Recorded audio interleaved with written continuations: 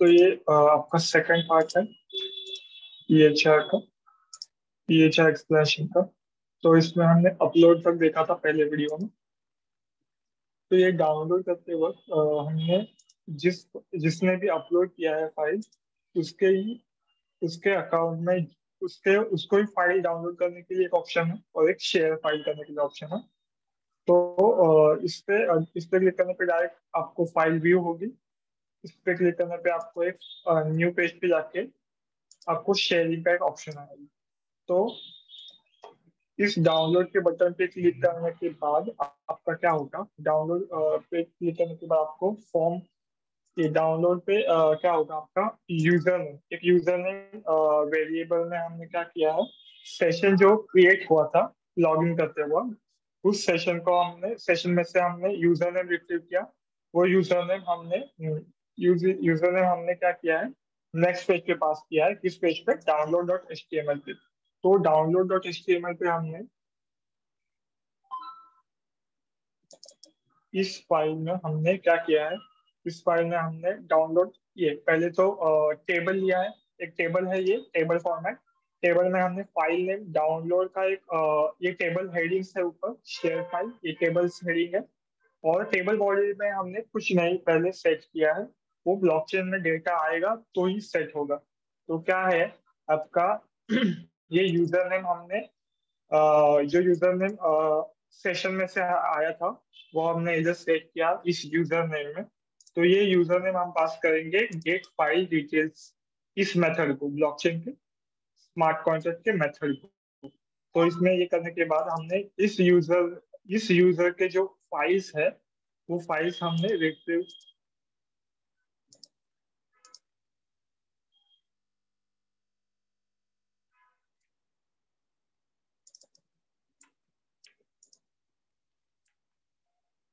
Gate file details तो क्या है, हमने ऐड फ़ाइल डिटेल्स में हमने पूरा डेटा ऐड किया था। User name file name uploader कौन था आपका प्राइवेट की एनक्रिप्टेड टेक्स्ट पब्लिक की और आईपीएफएस का हैश तो हमने अपलोडर के नाम से एक इफ़ कंडीशन लगाई है। इफ़ आपका अपलोडर का नेम जो यूज़र ने पास किया है, वो रहेगा। तो ही अगर तो ही आपको ये वैल्यूज़ पास करनी है। मतलब उसी उसी की फ़ाइल पास करनी है सिर्फ़। तो अगर उसकी जो फाइल्स रहेंगी अपलोड की हुई तो ही वो रिकॉर्ड रिज़ल्ट में डेटा आएगा। अगर रिकॉर्ड रिज़ल्ट में डेटा आने के बाद क्या करेंगे हम? वो पहले तो ब्लैंक नहीं रहेगा। अगर ब्लैंक रहेगा तो वो कुछ नहीं सेट करेगा टेबल को। अगर ब्लैंक नहीं रहेगा तो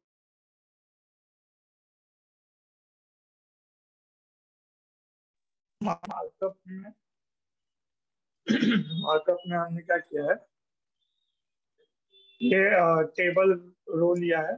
इस रो में हमने एक एक वैल्यू सेट करना है। एक बटन के लिए एक बटन है और ये वैल्यू दो बटन है और ये इमेज का नाम। तो इमेज का नाम हमने इसमें सेट किया है। तो टेबल बॉडी डॉट अपेंड ये मार्कअप होगा। मतलब आपका जितना भी डेटा है वो सेट होगा। इसके बाद इस डाउनलोड पे बटन पे क्लिक करने के बाद ये डाउनलोड होगी। इसमें दो यू आर है डाउनलोड के लिए। एक इसमें और एक एक शेयर फ़ाइल में। एक इसमें। ये डाउनलोड का अलग बटन है। तो शेयर फ़ाइल करते वक्त क्या होगा? शेयर फ़ाइल करते वक्त हमने शेयर फ़ाइल के वक्त शेयर फ़ाइल के वक्त जो डेटा हमने शेयर फ़ाइल पे क्लिक किया है, उसका जो डेटा है वो हमने बैकएंड में रिट्रीव किया। वो बैकएंड में रिट्रीव करने के बाद हमने वो डेटा पास किया शेयर फ़ाइल में। Share file dot H T M L पे। Share file dot H T M L पे पास करने के बाद ये हमने for loop Jinja for loop लगा के वो इनपुट्स आइट्रेट किए मतलब इसमें अभी फ़ाइल का नाम क्या था और अपलोडर कौन है, वो हमने पास किया है। इधर सिलेक्ट करने के लिए क्या है? जितने भी यूज़र नेम है ब्लॉकचेन में, उतने सेट हो गए उस ड्रॉप डाउन तो हमने कर कैसे किया है? ये देखिए गेट यूज़र्स डेटा ये हमने क्रिएट किया है। इसमें क्या है? जितने भी यूज़र नेम्स है रजिस्टर किए हुए, वो रजिस्टर का जो डेटा है, वो इधर रिकॉर्ड रिज़ल्ट में आ जाएगा। रिकॉर्ड रिज़ल्ट में आने के बाद हमने इसमें से सिर्फ़ उसका नेम है, वो रिट्रीव किया है। वो हमने क्या किया है इस रिसीवर रिसीवर क्या है आपका? एक ड्रॉप डाउन है। एक सिलेक्ट ऑप्शन है ये देखिए। इसमें पहले तो कोई वैल्यू सेट नहीं है।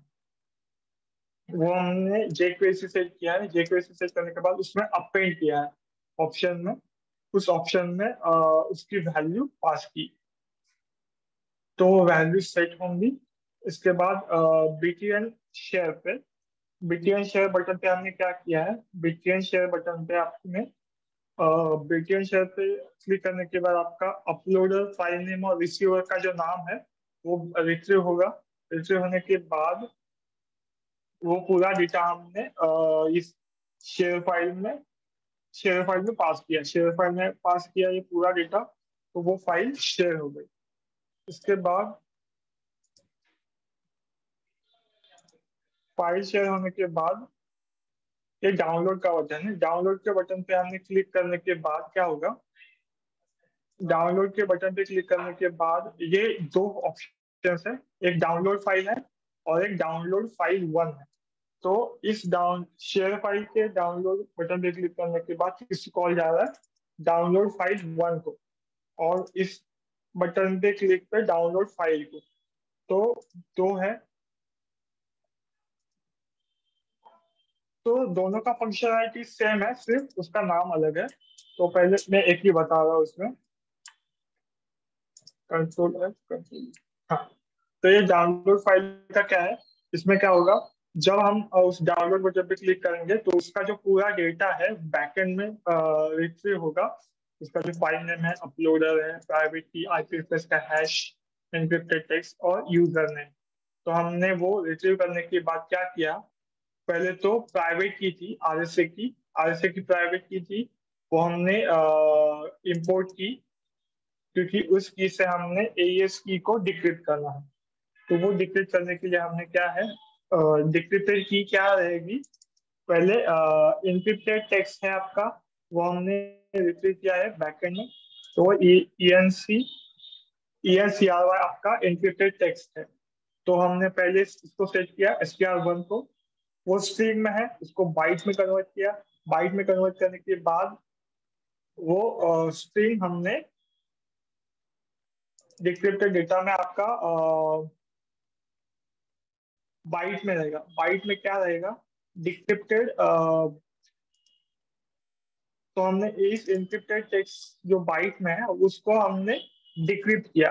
तो वो डिक्रिप्ट करने के बाद ये डिक्रिप्ट करने के लिए हमने डिक्रिप्ट फ़ंक्शन यूज़ किया है, ये वेरीफाई में तो लिक्विड फ़ंक्शन में डिक्रिप्ट करने के बाद वो पहले बाइट में रहेगा, उसको हमने स्ट्रिंग में कन्वर्ट किया। वो स्ट्रिंग में कन्वर्ट करने के बाद ये देखिए, ये टाइप हमने आईपीएफएस जो आईपीएफएस का हैश है, उसमें से पहले फ़ाइल डाउनलोड करनी है आपको। जो इनक्रिप्टेड फ़ाइल आपने अपलोड की थी, वो हमको डाउनलोड करनी है। वो डाउनलोड करने के लिए हमने ये लिंक पास की। और जो आईपीएफएस का हैश है, वो हमने पास किया। तो वो फ़ाइल डाउनलोड करने के लिए हमने उसका जो डेटा है, वो रिट्रीव करके एक फ़ाइल में राइट किया। तो आपका जो फ़ाइल है, वो डाउनलोड होगा। वो करने के बाद आपका वो फ़ाइल एनक्रिप्टेड फॉर्म में रहेगा। तो वो डिक्रिप्ट करने के लिए हमने डिक्रिप्ट इलेवन फ़ंक्शन को कॉल दिया है।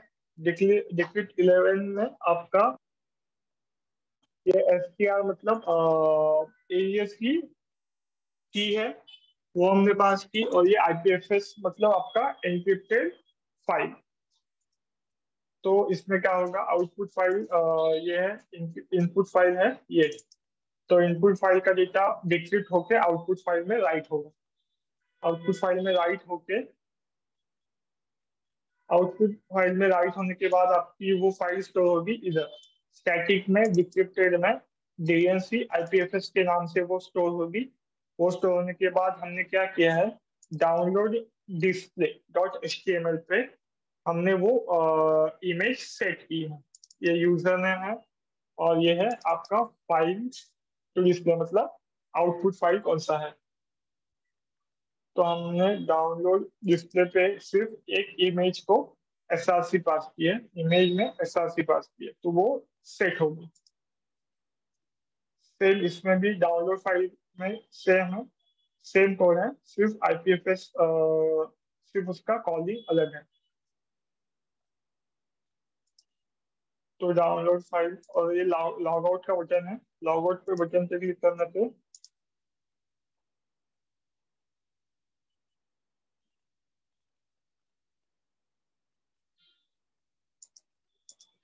लॉग आउट पे बटन पे क्लिक करने पे आपका कॉल जाएगा इस लॉग आउट फ़ंक्शन को, जिसका जो सेशन है, वो क्लोज होकर आपका इंडेक्स डॉट एच पे सेट होगा। तो इतना ही।